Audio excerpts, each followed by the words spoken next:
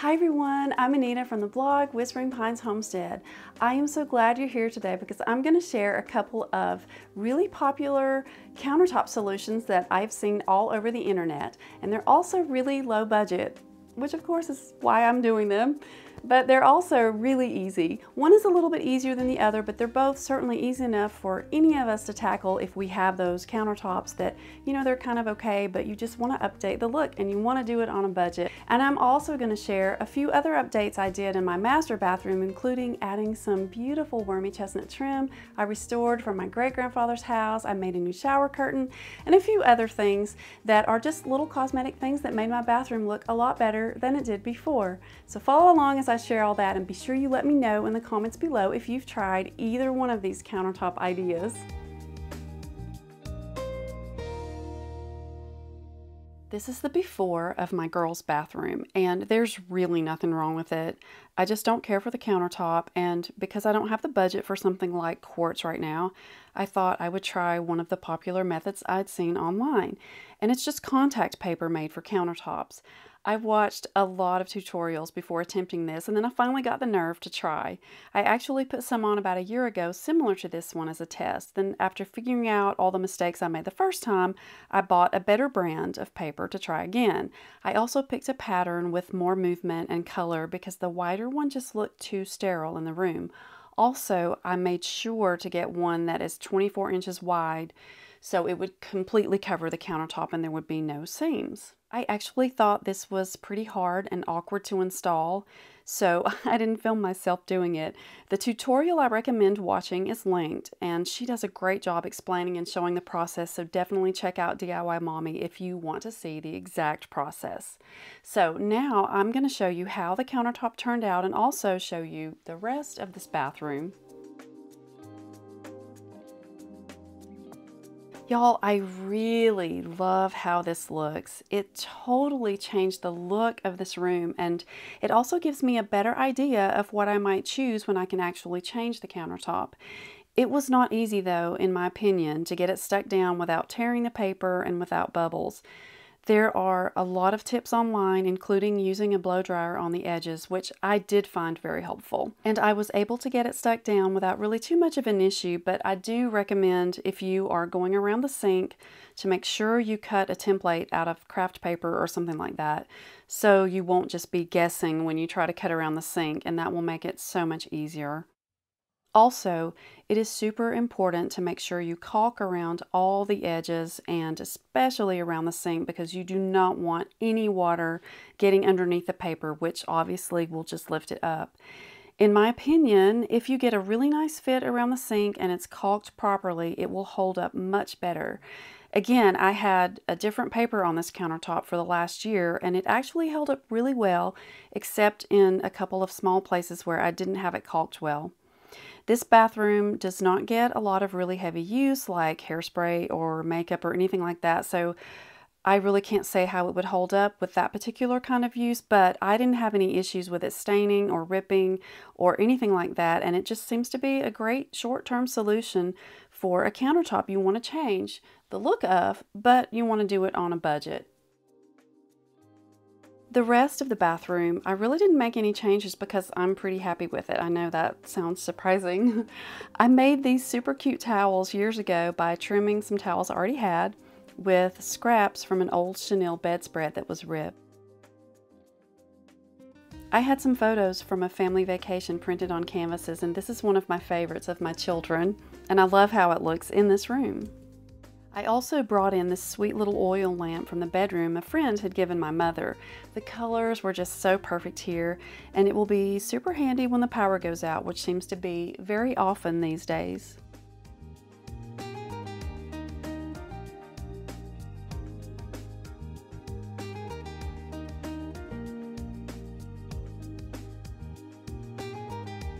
I installed the door from the old house here about nine years ago and I actually have some fluted trim to go around it but I need to rehang the door to accommodate the rim light so I haven't done it yet. Here are a couple of the larger towels I trimmed with scraps from the chenille bedspread. I also added some blue and pink lace because I just thought that looked really sweet and it was such a great way to use those pieces that were cut from that bedspread.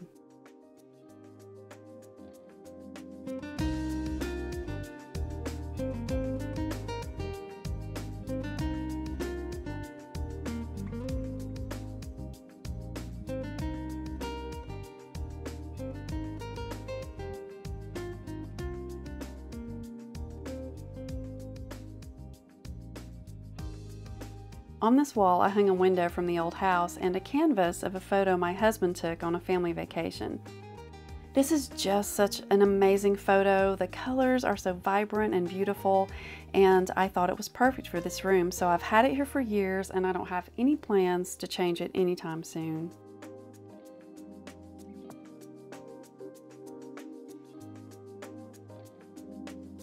There's actually a door here that we do not use, and I'm not sure if we should just wall it up, but in any case, we've not made a decision about it. I had a smaller door that I restored from the old house, and so I just decided to lean it here and install a towel rack on it that I made until I figure out where to use it. I like to have a chair in here to hold towels, etc., especially now that my girls don't live here, so when they come to visit, they have a place to put a makeup bag or a small suitcase.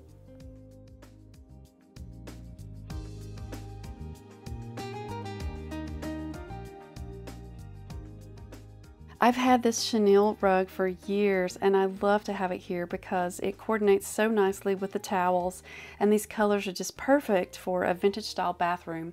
I believe that it belonged to my grandmother. It's one of my favorites. I should mention the gray color here on the tongue and groove boards is what inspired the cabinetry color throughout the house because these boards came from the old house and Daddy said Granddaddy sold this paint at his store. I love how this room turned out and I'm really satisfied with the difference the countertop paper made in the overall look. Now let's look at the master bathroom.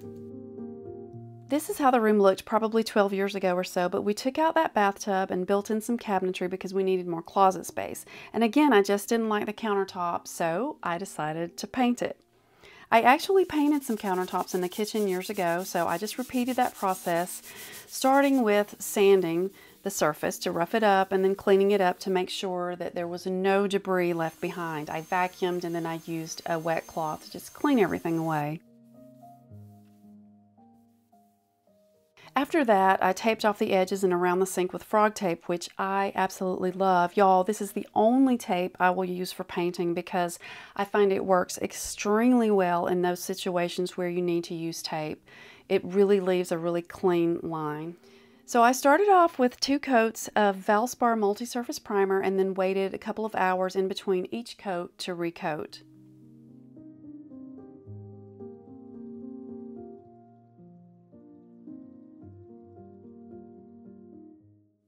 Next, I used three coats of Valspar latex enamel that I used on my other countertops about 10 years ago.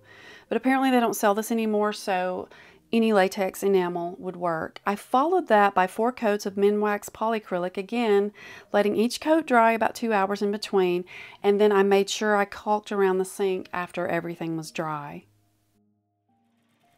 So instead of just stopping with a countertop makeover, I decided to do some other things in the bathroom, including making a new shower curtain. Mother had about five yards of this floral fabric that I love, so I made a new shower curtain out of that. And then I decided this would be a really good time to install the trim I'd saved from the old house in this room. So I had to go through the very painstaking process of digging out each board, cleaning and restoring each piece, then measuring, cutting, and installing it all in the room. In my opinion, this is actually what made the biggest difference in the room because when you add 120 year old trim that's 5 inches wide and 10 inch baseboards, it makes a big difference, especially in a small room like a bathroom.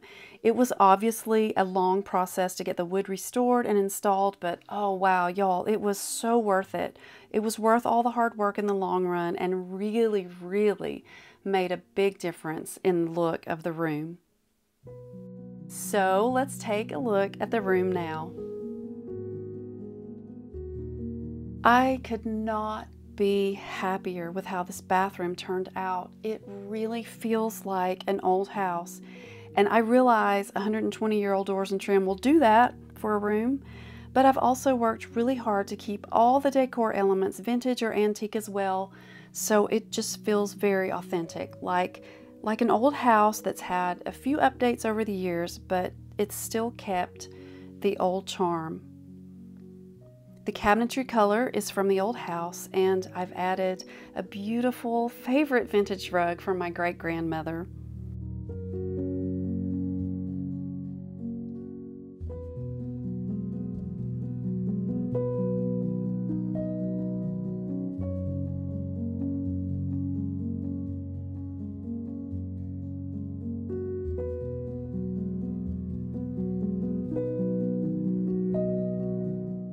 And I could just not be happier with the look of the countertop.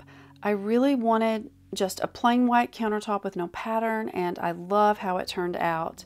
Again, remember I had painted a countertop in the kitchen years ago and it held up great for about six years with three kids before we took that out.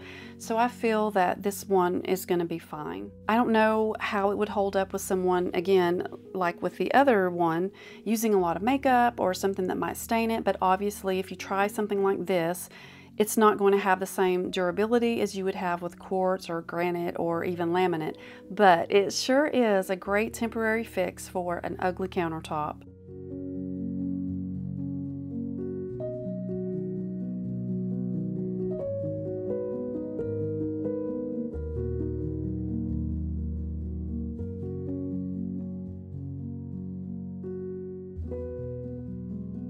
I'm not sure what this piece is and no one seems to be able to identify it for me, but there were several of these in the old house and I've made this one into a towel rack by adding a couple of plant hooks.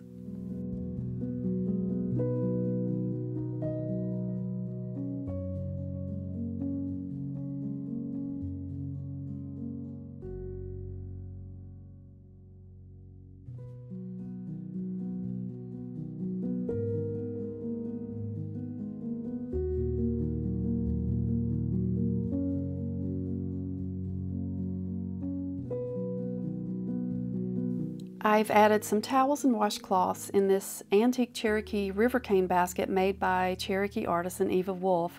This basket is truly a treasure and one I found at my grandparents' house, and I love the natural and organic texture it adds.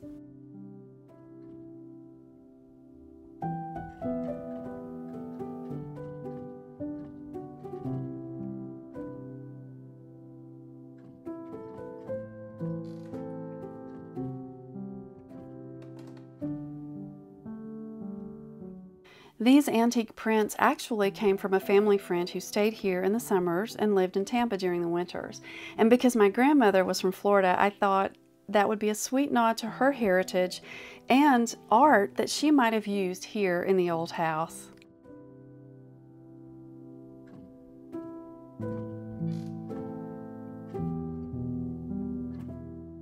And wow, what a difference this trim has made. I added the doors about nine years ago, but the trim really finished everything off, and that's really what makes this room feel old. The porcelain doorknobs are also from the old house. The color on the walls here is actually a custom color I mixed using BHG Sunlit White and Eddie Bauer Limestone. I couldn't find a color I liked with the light in here, so I just mixed these together and loved what came out of that.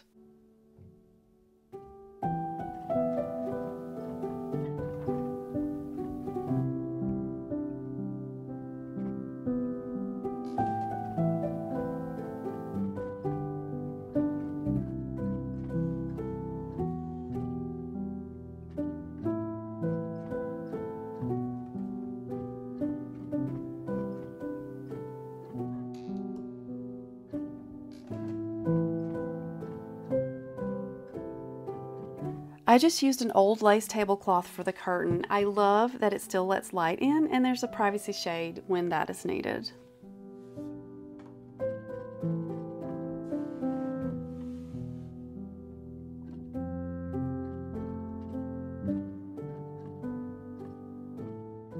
Course you know I love how the shower curtain turned out as this beautiful floral fabric just kind of pulls everything in here together. The shower actually had glass doors originally and I took those off a couple of years ago because I really didn't like them and the bottom edge was a serious safety hazard. The curtain has a liner that I can wash easily and the curtain also adds an element of softness to all of these hard surfaces.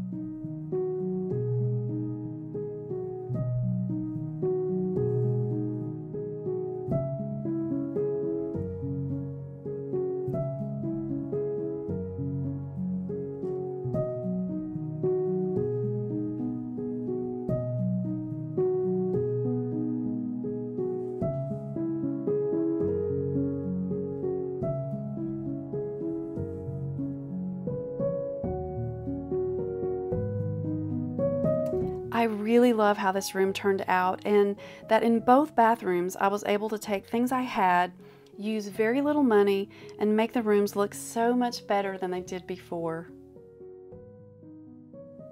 I hope you enjoyed both of these countertop solutions and be sure to let me know in the comments below if you've either tried one of them before or if you're about to try them because I'm really curious how the process works for you and how they hold up as well. So be sure to let me know that. Also, y'all, if there's one thing that I want people to take away from anything I say or do, it is this one thing. Use what you have we all have different things. We all have different gifts and different gifts of creativity. So draw on that, use what you have, and make it beautiful because you can do it. We can all have the beautiful homes we want, and we don't have to spend a lot of money to do that. So use what you have and make it beautiful.